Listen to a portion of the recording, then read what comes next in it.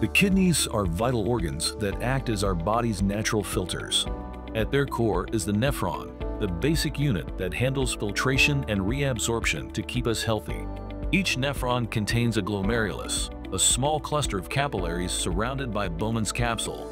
Here, blood plasma is filtered to create primary urine. In the glomerulus, the endothelium has narrow openings that allow water and small solutes to pass through easily, enabling the filtration process.